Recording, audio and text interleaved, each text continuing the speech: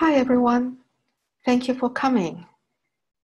In this session, I'd like to share with you the Smithsonian Library's efforts in looking for new ways to manage identity for its collections with the authority data in a linked data environment.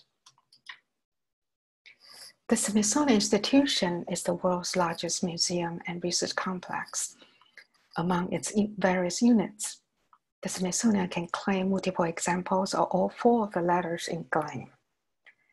19 galleries and museums, 20 branch libraries, over a dozen archival repositories, and a zoo. With a staff body of over 6,000 members, the institution has unrivaled affection for its collections and commitments to services. Members of this body share the passion of its mission, the increase and diffusion of knowledge. The Smithsonian Library has been a participating library in the PCC, NACO, and BIBCO programs for many years, creating and maintaining high quality authority and bibliographic data. Authority data are used to maintain consistency in headings such as access points and bringing together related names such as works. Data are manually created by experienced and NACO certified cataloging and metadata professionals. Authority data are coded in MARC and locked inside the traditional ILS, which has over the years preventing authority data from optimizing its potential when connecting resources on the web. With BIBFRAME initiative and other linked data efforts, the move to RDF from MARC format for bibliographic data would undoubtedly facilitate content negotiation as structured data communicate directly with web services protocol. Authority data, unfortunately, could have been the cornerstone on which many descriptive queries can be built. But the move to an entity and management environment has lagged behind the bibliographic data. With a conviction of testing out authority in a linked data environment. The Smithsonian Libraries management team decided in May 2019 to explore new ways to managing authority data as identity management. The Smithsonian Institute's relationship with Wikimedia Project began in June 2019. Activities has pretty much concentrated on the Wikipedia editor forms. Wikimedians in head up Penn institutional projects, conducting trainings and topic-centric editor forums several, year, several times a year. Wikidata, on the other hand, is very new to the Smithsonian.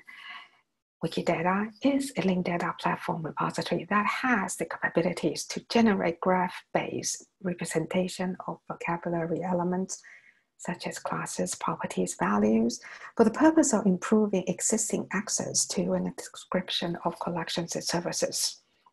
Wikibase is a software that fuels Wikidata activities. In November 2019, with the introduction to Wikidata by Andrew Lih, a colleague from Wikimedia DC, the Smithsonian could now draw from this group of like-minded colleagues who are interested in Wikidata and authority identity management efforts. Wikidata stores description in a simple form, representing objects, topics, concepts. This simplicity establishes data fingerprint enabling algorithm matching of the basic information required to identify the topic that the item covers to be translated without favoring a particular language, though the platform has multilingual support. Unlike the traditional library authority control, where only a highly trained and certified librarian can create and update authority data, Wikidata has an open data environment. Any person can establish an account to create and edit description. Now here's an, ex an example, a simple statement with qualifier and supporting reference describing the 14th Secretary of the Smithsonian Institution, Dr. Lonnie Bunch, who took office in 2019. The entity Lonnie Bunch, displaying here with his variant names, the entity was quickly enriched with many statements describing him. Flurries of enhancement to this entity was done by anyone who is interested in Dr. Lonnie Bunch and has a Wikimedia account. Looking for new ways to manage name identity, learning to add edit statements in Wikidata item, the newly formed Smithsonian Libraries Wikidata team quickly realized the learning curve will be uphill all the way. Our years of cataloging training experiences did not quite land us on an easy path when creating editing Wikidata items. We were challenged to look at data through the lens of our users, not rules or best practices. The organization of entity description and relationship will impact access to our collections. Well, the exercises that were conducted were very much unlike putting together description for authority description. One interesting fact that we have encountered is that Wikidata seemingly comfortable with conflicting statements. A description of an entity may be at odds with another statement for the same entity.